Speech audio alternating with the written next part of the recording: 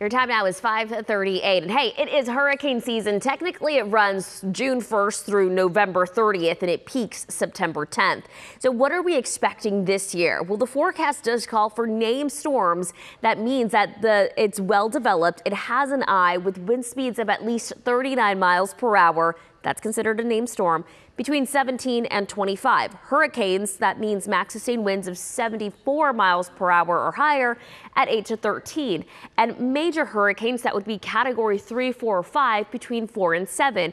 If you think, oh, that's not that much, well, let's look at the averages. On average, we have about 14 named storms in the Atlantic hurricane season, seven hurricanes, and only three major hurricanes. Now, this does not mean that they will all impact land, but certainly something that we're watching.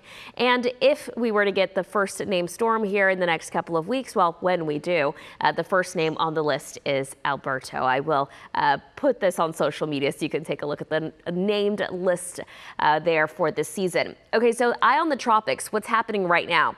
Actually, nothing. It's off to a really calm start. Uh, with that being said, there few models are bringing a, an area of low pressure over the Gulf here in the next two weeks. Right now, doesn't look like it impacts Texas, but of course, we will keep you very well posted on that, Tashara. Maria